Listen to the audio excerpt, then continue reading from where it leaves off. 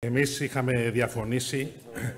και με τον νόμο 4849 του 21, που ουσιαστικά προέβλεπε την αλλαγή του κανονισμού λειτουργίας για τις λαϊκές αγορές, που με βάση αυτό προώθησαν τις αλλαγές η περιφέρεια εδώ της Αττικής και προκάλεσε και την αύξηση κατά 50% του ημερήσιου τέλους ε, και την κατάργηση και τη μετατροπή της διεύθυνσης σε νομικό πρόσωπο με οικονομική αυτοτέλεια. Ουσιαστικά ε, δεν μιλάμε για αναπροσαρμογή, μιλάμε για διατήρηση του χαρατσιού των 5 ευρώ για τους μικρούς πάγκους στις λαϊκές αγορές. Απλά διευκρινίζεται ότι το 4,76 πάει στην περιφέρεια και το 0,24 πάει στις ομοσπονδίες και διευκρινίζεται ότι θα εισπράτεται χαράτσι και από τους μεγαλύτερους πάγκους, που ουσιαστικά θα είναι χαράτσι μεγαλύτερο το 5 ευρώ με βάση τις προβλέψεις. Θυμίζουμε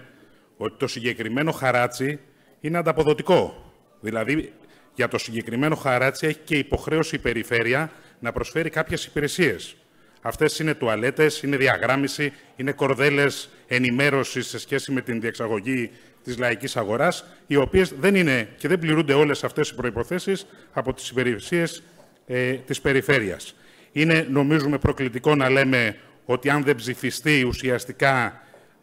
προκαλείται νέα επιβάρυνση στους παραγωγούς και στους εμπόρες των λαϊκών αγορών, αφού η επιβάρυνση παραμένει, την ίδια στιγμή που οι συγκεκριμένοι παραγωγοί και έμποροι αντιμετωπίζουν και το κόστος παραγωγής και τη μεγάλη φορολόγηση από το νέο φορολογικό νόμο που ψήφισε πρόσφατα η κυβέρνηση και που ουσιαστικά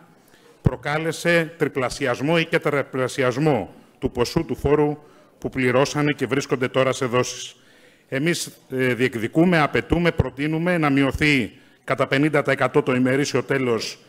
ε, που, στου, για τους πάγκους των λαϊκών αγορών, ευνοϊκές ρυθμίσεις για όσους χρωστάνε ε, στην περιφέρεια Αττικής και αποσύνδεση αυτών των χρεών από την ασφαλιστική και φορολογική ενημερότητα και από την ειδική